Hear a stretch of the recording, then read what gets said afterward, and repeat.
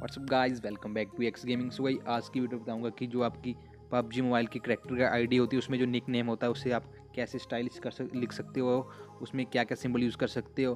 Guys इस trick में आपको किसी भी ऐप की ज़रूरत नहीं पड़ेगी। सो गाइस वीडियो को अभी कभी लाइक कर देना और चैनल पर नए हैं तो चैनल को सब्सक्राइब कर देना। चलिए वीडियो स्टार्ट करते हैं। सो so, सबसे पहले आपको लॉबी में आना है देन आपको जो आपका लेफ़्ट साइड में सीज़न दिख रहा होगा आपको सीज़न पे टैप करना है। उसका गाइज़ आपको रैंक पे टैप कर देना है। गाइज़ देख सकते हो कि जो एशिया के टॉप लीडर बोर्ड में बंदे हैं, उनका नाम आ गया है। सो गाइज़ आप इस, इसमें से किसी भी बंदे का नाम को कॉपी कर सकते हैं।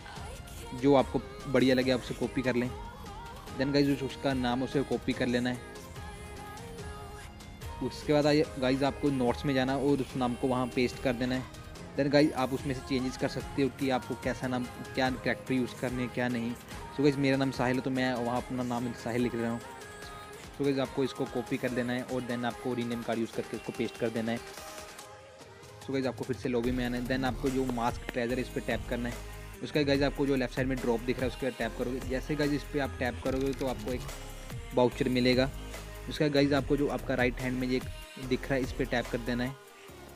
भाई जैसे इस पर टैप करोगे तो आपकी जो इन्वेंट्री है, वहाँ आपको एक प्रीमियम क्रेड कूपन मिल जाएगा। गाइस देख सकते हो, मुझे एक प्रीमियम क्रेडिट कूपन मिल चुका है। होप सो गाइस आपको वीडियो पसंद आया होगा। अगर वीडियो पसंद आया, हमें एक show leave like to the video and subscribe the channel